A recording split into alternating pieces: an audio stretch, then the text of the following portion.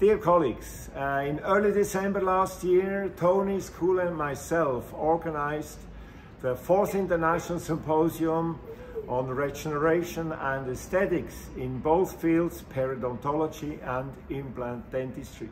The symposium was a huge success, mainly due to the high quality of 16 world famous speakers, all of them master clinicians. They presented in their lectures surgical techniques, how to achieve excellent outcomes.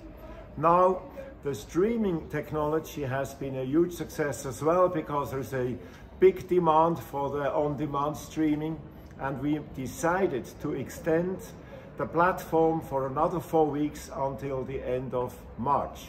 If you want to learn from the best and profit from a 50% discount on tuition fees, register and sign up.